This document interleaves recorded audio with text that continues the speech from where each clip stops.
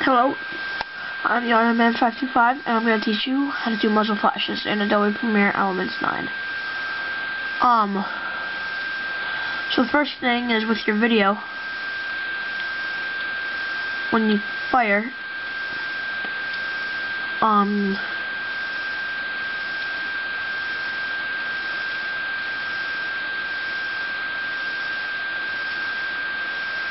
this ones not bad.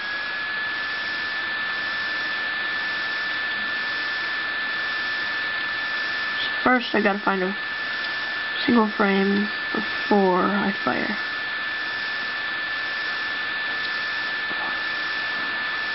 I go like that.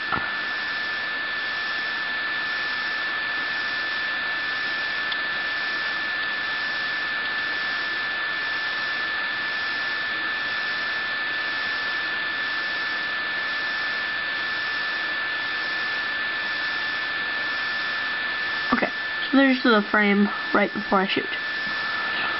Now, first what you're going to want to do is you're going to want to take a picture of that frame and do export. And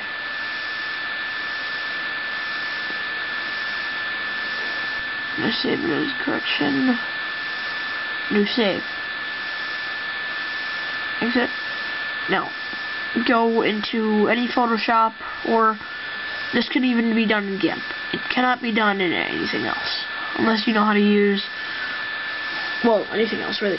Um, just use Photoshop or GIMP. I'm using Adobe Photoshop Elements 9. So, let me get it there. I'll come back when so now that I got, so now that I got my picture opened in um Photoshop, I'm gonna zoom in closer here onto this spot, like that. Now, it's normally best to have it um it's normally best to have it so that it's no motion blur, but we'll have to deal with it in this case. Alright, so now, first what you're to do is you're gonna take this poly lasso tool and change it to polygonal lasso tool. And now I'm gonna select the spot where it's gonna be blown back.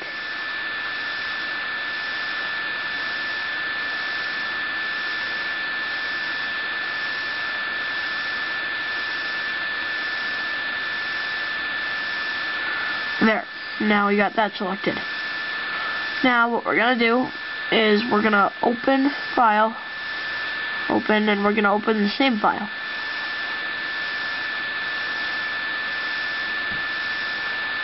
We're going to do, we're going to do edit, copy, and now we're going to do select and do deselect. Now there's nothing there. So what we're going to do is now we're going to go to edit, paste. It's going to paste that spot right there.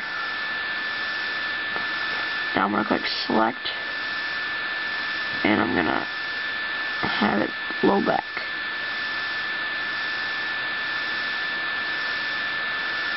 Now I'm going to do blur and click apply apply blur and apply more blur. So now it fits in with that. Make it, I'm going to make it slightly larger just so that it looks like it's actually going back. Now, that's pretty much it. I'm going to do just do save, so it saves it as the same thing. Um, JPEG. Oh wait, BTMB. Correction. Save. Place. Yep. Alright. Okay. Now.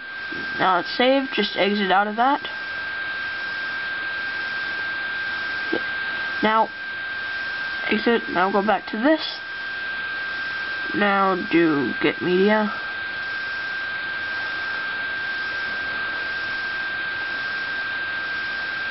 Oh, here it is. You can see, see it's going back slightly right there. Now what you're going to do is you're going to zoom in and I'm take that one frame right here. I'm going to take that frame and I'm going to do clear. And now there's that open spot. Now I'm going to do add tracks and I'm going to add one video track and zero audio tracks. Now, there's that one video track. Now I'm going to add the spot where it's back, blown back. As you can see, blown back, not blown back. Doesn't look super realistic or anything, but it's only going to last one frame, so it's not going to be too noticeable or too unnoticeable.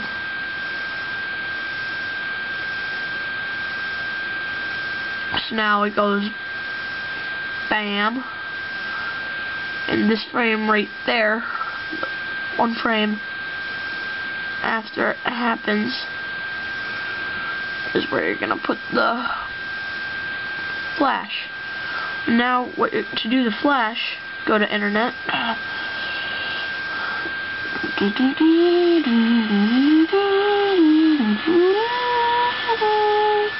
Now Google. Google.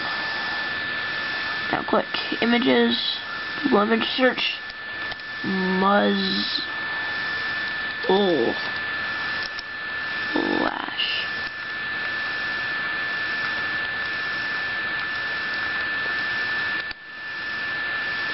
Pictures. Now, we find one that I like. Because it has to be the right one. Because you shouldn't just go and pick out some random thing. my opinion, you gotta find something that you seriously like. Whoa.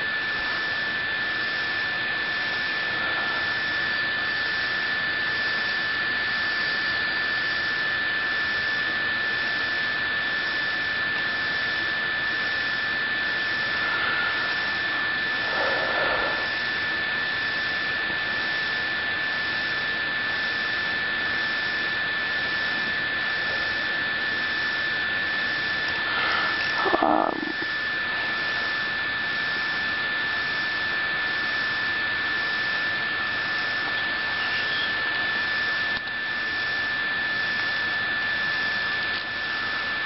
mhm. This should give me a little wider search.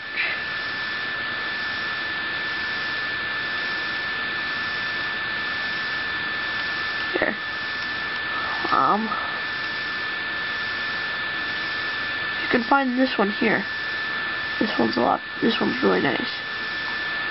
I'll just do save target and save it, but I already have it, this one, so just wanted to show you how to get them. And so here, let me find it. Or just let me get it. Second. I go where? Where is it?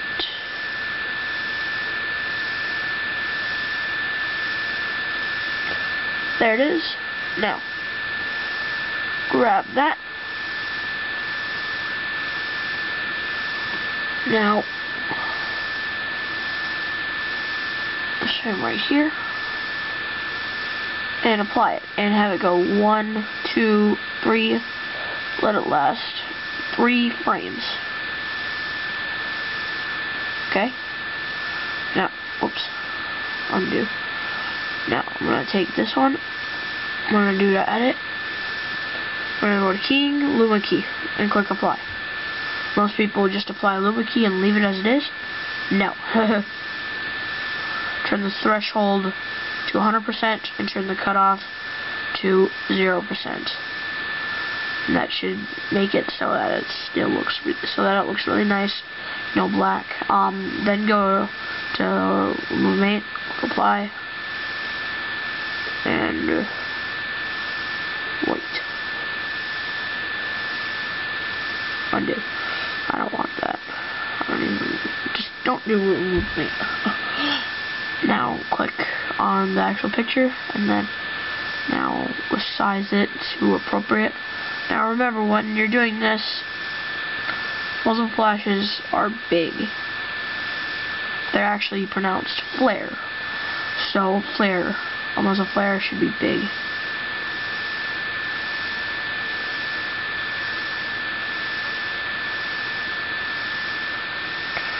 Now, I'm going to do edit effects. I'm going to do motion on uniform scale.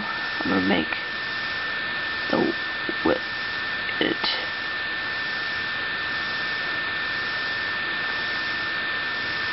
wider and turn the height down.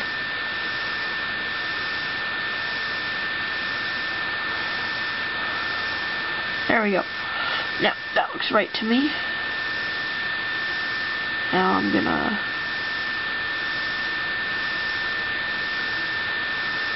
size it to how I want it. And now it's on there. But see this black and see how it goes over the black? You don't want that. So what you're gonna do is you're gonna go to transform and you're gonna do crop. It's gotta be crop. Also it won't work right. Now take the right and the bottom and turn them down to zero. Now it's the top. Gonna turn it up.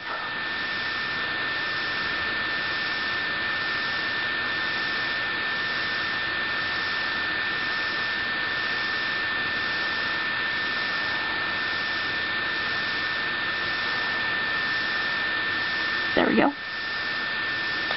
Now just do that so that it doesn't, so it looks like it, the camera films widescreen like that. So, now that you got that, now cut each one into a pic, one picture in a frame. So, select the first one. That one's fine. Now, select the second one. And the second one, you're going to do opacity and turn it down to about to about 90. Done. Now this last one, you're going to go to edit and you're going to do well the second one here. Sorry. You're going to go to motion and just going to make it larger.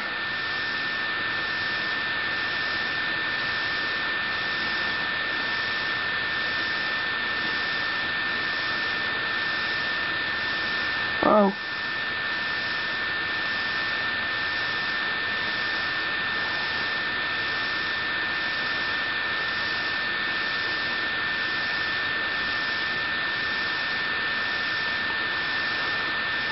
Now, it's a little bit larger, and now turn the opacity to about 85. Click done.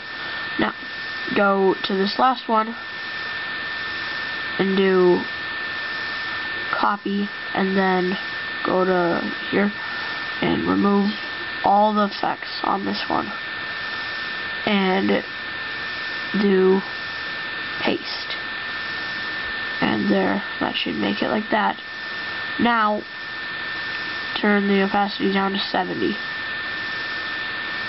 alright so let's just rub through it here to that it's a frame where it blows back pick those pictures, make it larger. Now with this one, only one problem. It needs to be larger.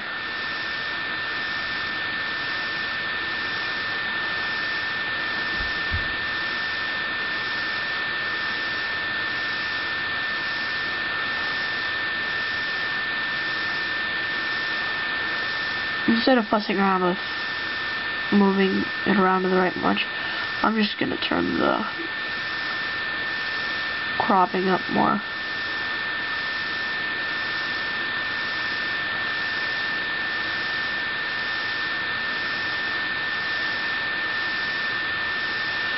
There we go.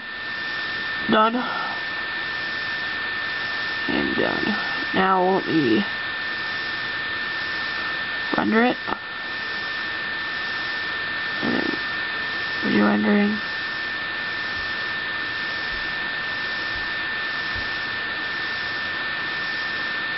Okay. So now it's rendered. Now let's play it. Ugh. I'll put the finished product on this video. Alright, see you guys later. Um, here's the finished video.